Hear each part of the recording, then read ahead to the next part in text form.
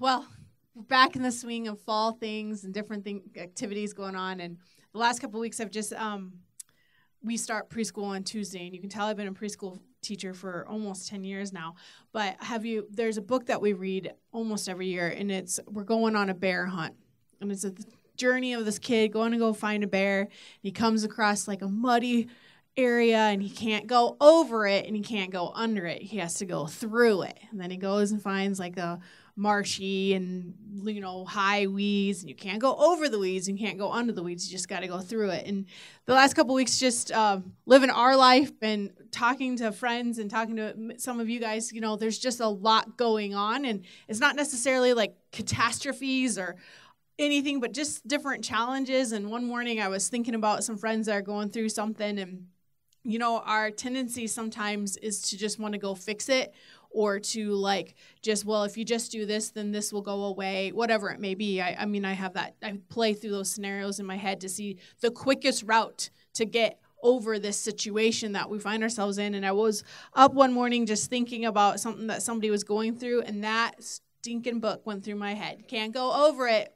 Can't go through it. Uh, can't go under it. You got to go through it and you know sometimes we really are hesitant to do that sometimes my first impulse when facing a challenge is to kind of like run away or bury my head in the sand or pretend it's not happening or or um or try to do things in my own power to make it different. And sometimes the only way to overcome battle is to just go through it. And the thing that we have to remind ourselves is that Christ has promised to be with us through all those battles. And He, again, I say this a lot, but He never told us that we weren't going to have battles. It's just naive of us to think that. And we can get weary though, and we can get tired of having them. But man, sometimes the quickest and best route to take through a situation is to go straight through it and to just know that he he's with you all the way. And in Second Corinthians chapter 1 verse 3 it says, "Blessed be the God and Father of our Lord Jesus Christ, the Father of mercies and God of all comfort." who comforts us in all our afflictions so that we will be able to comfort those who are in any affliction with the comfort with which we ourselves are comforted by God. For just as the sufferings of Christ are ours in abundance, so also our comfort is abundant through Christ. And just reminding myself that God's going to be there for me as I go through these things and the other things that I know that people are going through that I desperately would love to take off their plate to just make it so that they never have to deal with it. That man, you know, thinking of things that could hurt people down years to come and battles that people are going to have for years to come and how I desperately would love to just take that out of their life so they don't have to deal with that. But then just that book, get man, you got to go through it and they can go through it and they can survive. And god can heal them and to make them whole. And he can see them through far better than i can in my own power in my own way.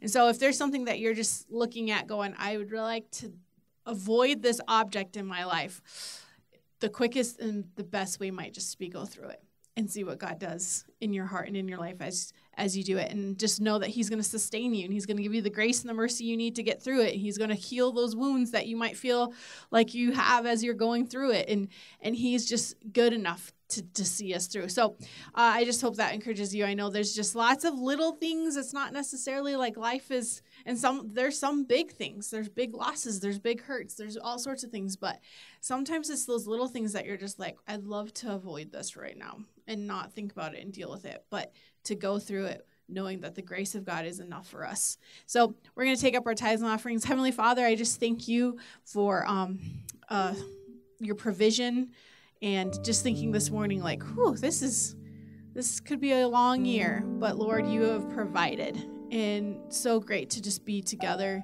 as a family and to as a community that is seeking you lord. None of us claim that we know it all.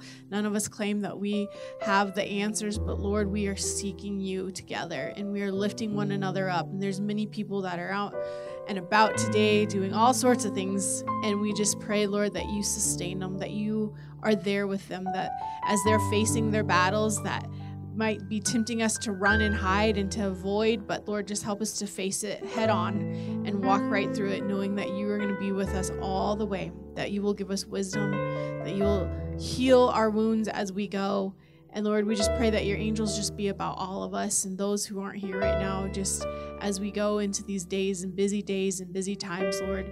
We just thank you for your goodness and your mercy that you just are so generous to just pour out on us. Help us to be that graceful towards others.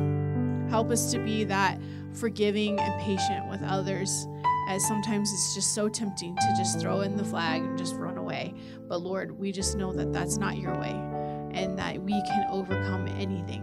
And Lord, we just pray right now that there's so many people that are doing uh, activities out in this warm weather, and many people, some people of ours are doing the 5 0. And Lord, we just ask that you protect them, keep them safe. May they have an adventure today, and may they have memories to last a lifetime.